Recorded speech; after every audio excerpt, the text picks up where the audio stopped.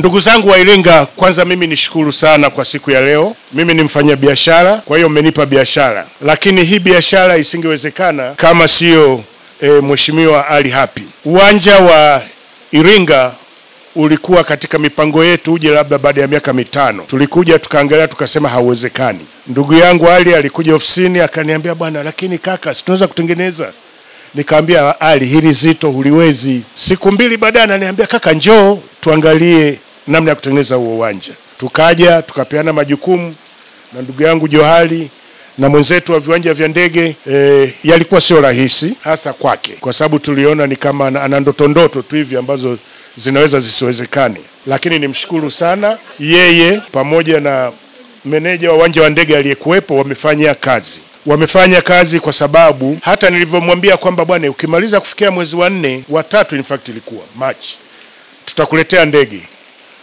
E, nilikuwa napiga porojo tu nijue itakuja labda mwezi wa kumi na mbili au miaka inayofuata. Wanasema alinikamata mimi. Kwa hiyo kutokana na juhudi zenu ni kuambia tu tarehe ishirini na tisa ndege ya kwanza ATCL itatua hapa tarehe ishirini na tisa mwezi wa nne ndege ya kwanza ATCL itashuka hapa.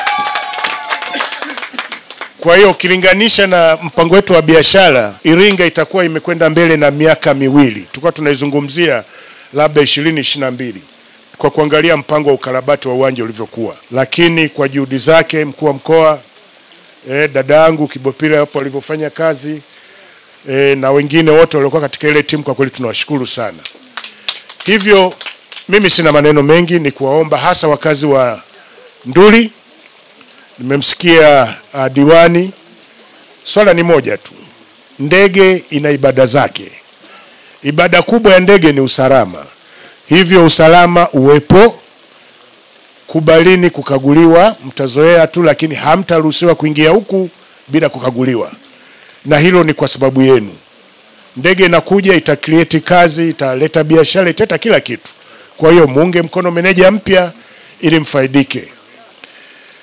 Mwisho kabisa niseme tu, nimesikia ombi lenu wazee, limetolewa na chifu nafikiri kwamba mpande sasa. Ali kwa vile ameweza kupata milioni mia nne, sidhani kama atashindwa kukosa milioni kama moja hivi ya kuwaleta Dar es Salaam.